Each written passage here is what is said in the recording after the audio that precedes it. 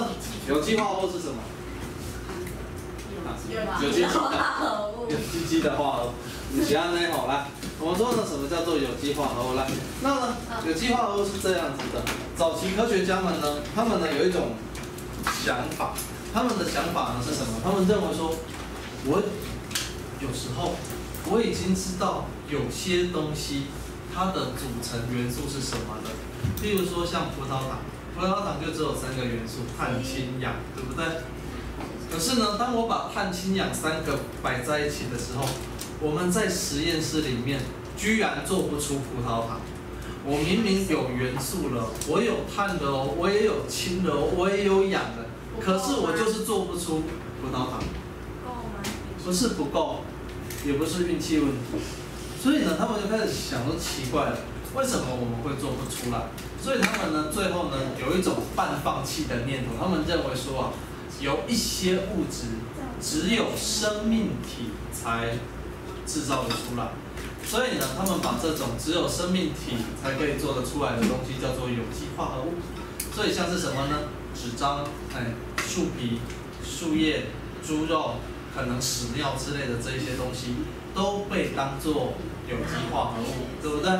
所以呢，反倒是什么呢？不需要经过生物体就有办法制造出来的，像什么呢？石头、金属、钢铁这些东西，就算是什么呢？无机物，对不对？所以他们一开始的想法是这样子。那呢，当然了，问题来了，鸡会生蛋，对不对？那鸡蛋的蛋壳算是什么？以以前的定义应该叫做有机。所以呢，贝壳、贝类的那个壳、贝壳，它也应该算是有机。可是呢，大理石它是无机的。应该要算无机，对不对？可是呢，它们是同样的东西。对，可是它们又是同样的东西，所以是不是很奇怪？对不对？所以呢，后来呢，这些科学家们呢就想了一个，就跳在这个盲点中呢跳不出来。所以直到呢有一个德国科学家呢叫做什么呢？乌拉。哎，这个乌拉呢在实验室中呢合成了尿素。那呢尿素长什么个样子嘞？尿素长这个样子，好看。N H 二括号二 C O，尿素长这个样子。结果呢，尿素这个东西以前只有在生物体里面才有办法制造的出来，才有办法排出来。结果呢，它居然在实验室中制造出这个东西来，所以它推翻了什么呢？只有生物才有办法制造有机化合物的说法。所以实际上呢，新的定义就定义为什么呢？你只要含有碳元素的化合物，我们都可以把它称为有机化合物。我们都可以把它称为有机化合物，OK 吗？可以理解吗？所以呢，在这里呢，别急着抄。我们说，所以呢，从这里开始呢，我们发现了，我们以前是不是把物质分成两大类？一类叫做什么？哎，一类叫做混合物，一类叫做纯物质。所以呢，混合物跟纯物质最大的差别就是分子结构，一个是单一分子，混合物是多种分子。所以纯物质我们要把它分成两类，一类叫做元素，所以元素就是什么呢？单一原子所构成的东西，我们叫做元素。另外一种叫做什么呢？化合物。所以呢，化合物就是什么呢？多种原子所构成的东西，对吧？所以化合物我们在第三单元电解质，我们把化合物分成两大类，哪两大类？电解质跟非电非电解质。只是在这一个单元，我们要把化合物分成什么呢？分成无机跟有机。所以呢，所谓的无机就是什么呢？无机就是没有没有碳，而有机呢，就是有碳，OK 吗？可是呢，所有的有机化合物里面呢，它们呢又找到了什么呢？三个例外，他们把这三个东西定为例外哦。所以哪三个东西呢？记起来，第一个，碳本身的氧化物，所以一氧化碳跟二氧化碳，它虽然有碳，可是它算不算有机？不算。所以呢，它是有机里面的例外，OK 吗？是啊，为什么它不是？我们定义出来的时候，我们就定义它不是。为什么？嗯怎么定义？怎么定义啊？我们那些科学家。来，哎，这么说好了，有些时候你们在这里，我们所谓的定义，我们很难去了解科学家当时他们想要定义的方向是什么，了解吗？我们很难。我们把它排除在外，主要是因为这一些东西它很难再做出其他的排列组合。这个后面你们就会知道，它很难再做出其他排列组合。一般的有机是可以再做对其他的组合。对，一般的有机可以再。做。对，所以呢，来，所以呢，其实呢，像一氧化碳跟二氧化碳，它其实严格来讲，它是什么呢？有机化合物里面的例外，所以它是无机物哦。那么第二种有碳，可是呢，却被我们当成无机物的是什么呢？是这个。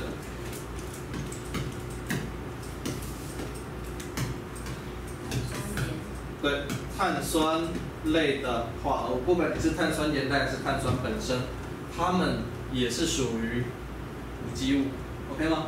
所以有三个例外要记哦，哦，所以呢，这个也是例外。所以呢，来到第三个，那第三个是什么呢？CN 负，这个东西是氢化物。氢化物呢，它也是什么呢？它也是例外。所以氢化物有没有看过《名侦探柯南》？有。来，柯南里面最喜欢拿来杀人的化学药品，哎，化学药品之王就是它。你们觉得这个东西应该怎么讲？对，氢化钾。所以吃下去就会眼睛睁得大大，然后嘴巴张开，然后后头人啊，哎，然后就死在那里。然后后面就有一个乌漆嘛黑的人在那边，嘿，贼笑，对不对？哎，名侦探柯南不是都这样子画吗，对不对？有没有看过？嗯，看到这。OK，好了。所以呢，我们说呢，这三个东西呢，其实严格来讲，它是属于什么呢？它是五级五哦，哦，它是五级五，有没有问题？课本。对啊，这是的。好，那呢，主要呢，基本上这三个，好吧？哎，主要是基本上这三个，好，好嘞。那呢，碳酸类的话合物，当然还有一个了，碳酸氢根也算，好不好？哦，碳酸氢根也算，可以吗？好，碳酸氢根也算，好了。所以呢，这一边呢，我们呢，很快的呢，就把它过去。右边的就好了。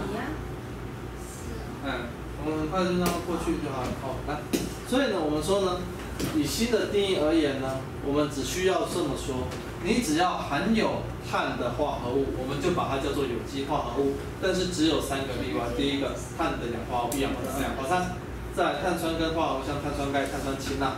好，那其实碳酸氢钠应该严格来讲算是碳酸氢根的化合物。还有另外一种就是氢化合物，哦，CN 负的这个东西。所以呢，我们说有机化合物跟无机化合物呢，它最大的差别在哪里？有机化合物呢，它一定有含碳，所以我们要把它叫做含碳的化合物，最不含碳的就叫做无机。那呢，我们有机化合物它最特别的地方，有机化合物的种类呢，很容易就超过百万种，可是无机物呢，大概只有几千种而已。那为什么会这样子？我们后面就会来讲到它。那呢，我说有机化合物呢，它的熔点比较低，而且很容易就烧起来。那呢，无机化合物呢，在水中呢溶解度比较大，而且水容易导电性比较好。那呢，有机化合物其实蛮多都是不溶于水的，OK 吗？好，有机化合物蛮多都不溶于水。所以呢，像我们生活中呢，常常遇到的什么呢？食物啦，还有一些衣服啦、塑胶啦这一些，其实绝大多数都是有机化合物。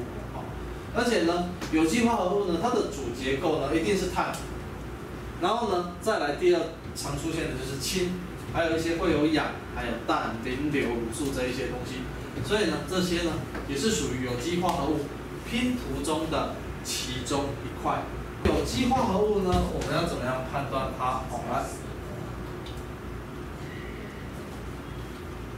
那呢，有机化合物的判断呢，我们其实一般常用的一个方法，这个方法叫做干六法。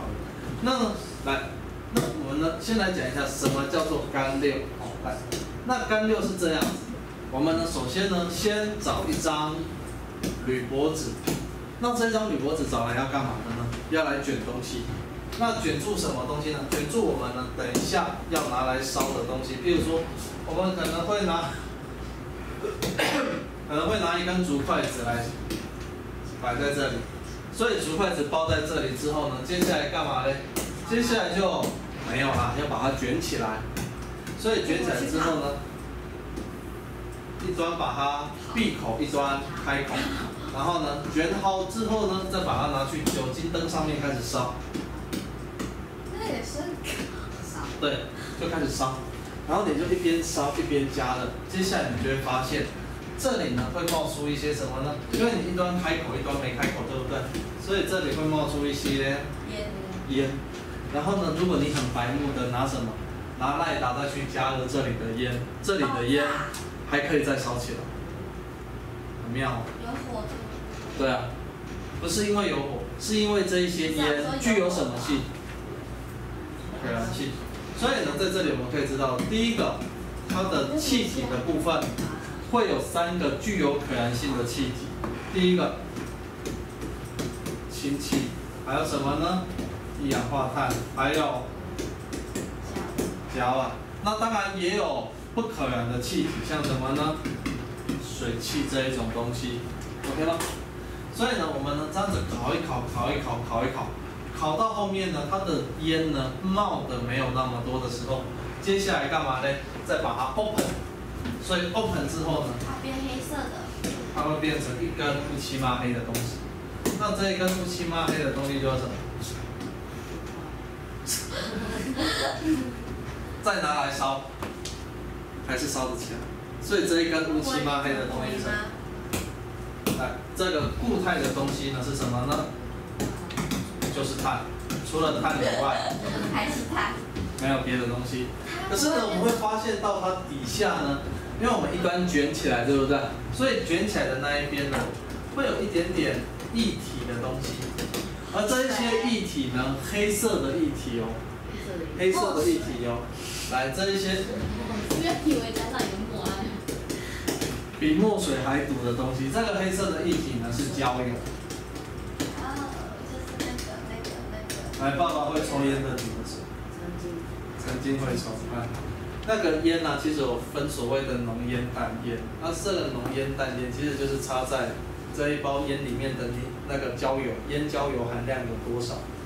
所以呢，烟焦油这个东西呢，就是这个，就是这个。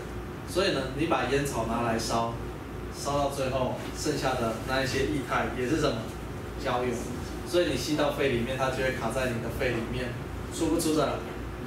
是出不了。然后，如果它的颗粒够小，它还可以直接进入到你的血液循环，然后就会塞住你的血管末梢，然后接下来你就可以去拍循利宁的广告。哎，阿妈，你怎么没感觉？对，啊，对，血管末梢会被塞住。然后，如果塞住男性的重要部位的话，你们就会看到那个 Seven Eleven 卖的烟呐，那个烟盒上面都有一些，对，是，哎，吸烟会导致性功能障碍的那一种。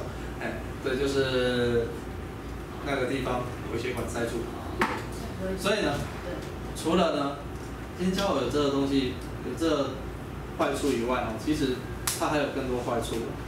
致癌这个不用讲了，塞在血管末梢这个不用再塞在脑部就是什么中风，塞在心脏就心肌梗塞。所以啊，我觉得会死。对啊，只是最怕的是那一种死不了的。这样好痛苦哦，生不。对啊，你自己想嘛，中风。结果呢？变植物人。没有到植物人那么可能，电电风，然后呢，右半身不能动，只有左半身可以动，所以你要用你很有力的左半身去拖你的右半身去走路。对啊。所以呢，除了烟焦油以外呢，如果我们拿蓝色的湿的石蕊试纸，粘在这个上面，我们会发现它还会变成红色，所以代表里面其实还有另外一个东西是什么性的？酸性酸性物质。所以经过后来科学家研究呢，他们知道了这个东西其实是什么呢？酸，对，这个东西实际上是醋酸，而且呢，有没有发现这一堆东西，其实烧到最后最根本的东西就是碳，对不对？所以我们说呢，像这个方法呢，我们把它称之为干六法。所以呢，什么叫做干六法？干六法其实就是隔绝氧气的加热方法，OK 吗？哎，隔氧加热，那呢使得里面的物质分解掉、散掉、跑出来，OK 吗？好，所以呢这一种呢叫做隔氧加热。那如果你在有氧气的情况下加热，它就会干嘛？烧起来，对不对？OK 吗？所以呢，如果你把纸张拿去干馏，你们觉得纸张最后干馏到最后的结果是什么东西？还是碳？OK 吗？纸张干掉到最后的结果还是碳。所以像呢烤肉的时候烤到最后会怎么样？超回搭，所以超回搭代表肉的主要成分最后里面还是有什么？还是有碳。你中秋节没有烤过肉吗？你演出的时候好对啊然后那个饭呢，如果煮的太夸张、太过头，就会变成超回搭，对不对？连铁板面也会超微搭，对不对？所以呢，基本上呢，不管呢我们所认知到的，不管是糖类还是蛋白质，其实它们都是什么有机化合物。所以如果煮过头，最后都会超回搭。哎，所以呢，在这里呢，干六呢，它这个方法呢，其实也是我们人类长期以来做木炭的方法。所以呢，你们有没有听过有一种东西叫做竹炭？有没有听过竹炭？哎，那竹炭是什么呢？竹炭就是把竹子砍下来之后，一节一节，然后把它丢到窑子，哎，不对，这个讲好像有点怪怪的，就是一个窑，哎，对，哎，因为因为窑子好像是妓院的另外一种说法，嗯，对，哎，所以呢，把它丢到窑里面，然后呢，丢到窑里面之后呢，就把窑封起来，然后呢就开始烧它，开始加热它。所以这一些竹子呢，到最后就会变成一根一根的竹炭。然后呢，在这些竹子进行干溜的过程中，它滴下来的那一些汁液啊，哎，就会叫做什么呢？竹醋，哎，不是竹炭水，那个东西叫做竹醋哈。那个东西可以拿来干嘛呢？可以拿来驱蚊。所以之前有一阵子，大概台湾大概在前五年吧，五六年前，有一阵子很流行竹炭类的产品，哦，对，现在应该有印象。然后现在现在就退流行，还是哎，六年前，呃，这么五六年前，然后什么竹炭袜啦、竹炭纤维衣啦、竹炭水啦，哎，那竹炭其实它有另外一个好处啦，因为它是属于多孔性的材质，它的洞很多，哎，比各位还多。比各位的脑袋很多，脑袋有洞，哎，那竹炭的洞呢，其实很多啦哦，所以呢，怎么样？当它水分呢流过去的时候，它可以把水里面的杂质拦截下来，OK 吗？所以呢，竹炭呢，它其实也是一个蛮不错的过滤材料。好，所以呢，有些人呢就会把竹炭当做什么呢？活性炭来用，或者是直接摆在家里，说呃，它可以吸附空气中里面的一些杂质。好，所以这有没有问题？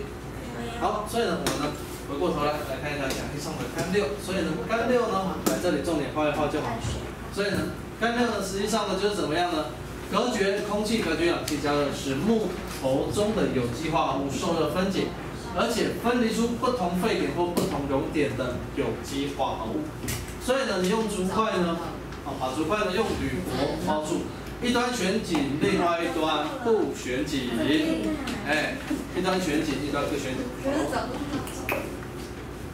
一端旋紧，一端不旋紧，然后呢用干锅夹夹着，然后就就去烧它，后我之前有學生呢，燒什麼呢？燒頭髮，他把他的頭髮包起來乾溜，然後乾溜之後出來的味道很臭，為什麼會很臭？不是沒洗頭啊，來，實際上是木頭這種東西，它基本上是碳水化合物比較多，對不對？可是頭髮是什麼？蛋白質，那蛋白質其實比什麼呢？比糖類、比纖維素的這種東西还多了硫，还有氮，所以等于说它加热的过程中，它很容易就会变成带有硫的化合物或带有氮的化合物，所以那味道会很臭很可怕。哦，所以呢，在这里呢大概知道一下，所以加热过程的产物呢，它其实会产生很多东西，但是呢，具有可燃性的有什么呢？有一氧化碳、氢气，还有甲烷。那也有不具可燃性的二氧化碳或者是水汽，OK 吗？哦，二氧化碳跟水蒸气也有可能在这里。所以呢，如果我们不把烟雾呢烧起来，而是直接把它收集起来，用氯化亚钴试纸去测，会发现氯化亚钴试纸会变红色，蓝色氯化亚钴会变红色，所以代表它冒出来的烟里面其实也是具有水蒸气的，OK 吗？有没有问题？好、所以呢，那呢这一些液体呢，哎，干裂完之后呢，它底下渣渣的那一些液体呢，会发现它是黑色而且有臭味，所以这是什么东西？黑色有臭味的，这个就是烟焦油哦，就是烟焦油哦。那呢，如果我们用湿的蓝色水尾试纸去测，会发现蓝色水尾试纸会变红色，所以其中呢是酸性物质，这个酸就是什么酸？醋酸，OK 吗？好、所以最后呢，摊开来铝箔纸之后呢，我们会发现木头就变成乌漆麻黑的东西，所以呢，它是纯度非常非常高的碳，有没有问题？好、所以呢，有机化合物呢，直松多孔的黑色碳吗？对啊，来，最常见的两种元素是主要就是碳，两种你觉得下一个是什么？对，好，好了，所以呢，在这里呢，我们呢来看一下，那呢有机化合物的第二种，来，有机化合物的第二种测定方法，来，有机化合物的第二种测定方法叫做氧化还原法。那呢，因为我们说有机化合物一定有什么？一定有碳，对不对？所以碳的活性其实还不小，对吧？钾、钠、钙、镁、铝、碳、锌，所以拿碳来做氧化还原其实还不错。所以呢，我们在这里呢可以干嘛呢？我们可以把有机化合物，譬如说我们拿糖粉或面粉，把它跟氧化铜摆在一起加热。所以呢，哎，我们把呢氧化铜跟面粉呢混完之后放到试管里面，而且直接加热。那加热之后呢，我们会发现呢，它会有一些气体跑出来。所以这些气体如果跑出来之后，你直接收集它，你也会发现里面也是有水的。为什么？因为面粉就是碳水化合物嘛，对不对？所以它分解完之后还是会有水。可是呢，当你呢把这一些气体呢通入澄清石灰水之后，你会发现澄清石灰水会干嘛？会变浊，所以代表里面的碳怎么样？氧化掉了，对不对？所以最后呢，你把这一个试管的东西呢打开来，把粉末倒出来的时候，你会发现里面呢，除了乌漆嘛黑的渣，还有面粉没被烧掉的白色的粉末以外，你还会发现有一些红棕色的亮亮的金属，就是什么？铜，铜怎么样被还原回来了？OK 吗？好，好，那呢在这里呢，哎，有几个实验的小细节，这个实验其实有点危险性，好，所以来这里各位知道一下。所以我们说加热试管的时候会怎样？来加热试管的时候呢，可以看到澄清石灰水会变浊，所以代表里面有二氧化碳。但是呢，最重要的是这一个。来，当我们呢试管要停止加热的时候，要先做什么事情？要先把这个水，哦，这个水管呢，从澄清石灰水里面捞出来。为什么要捞？因为你不捞的话，你这个火一熄掉，里面的空气就会干嘛？冷却，对不对？冷却体积就会收缩，它就会把澄清石灰水抽上来。那抽上来，你这一根试管还是烫烫的，对不对？而水冷冷的，一上来一碰到就会干嘛？哦，就会裂掉，就会爆掉。所以呢，为了安全起见哦，基本上我们会先把管子从水里面捞出来，接下来才会进行熄火的动作，OK 吗？所以呢，在这里呢，这要特别知道，所以我们会发现呢，哎，原本黑。